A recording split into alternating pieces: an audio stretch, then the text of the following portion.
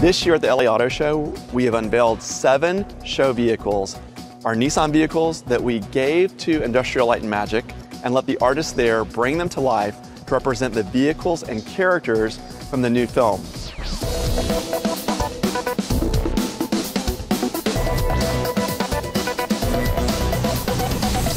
The great thing about our collaboration with Lucasfilm is understanding the millions of fans in America. We want to make sure that we do it in a way that celebrates the key themes of Star Wars and really brings to life the fan experience. So after LA Auto Show, these seven show units are leaving and they're going coast to coast so that fans all across America can see them at their local auto shows.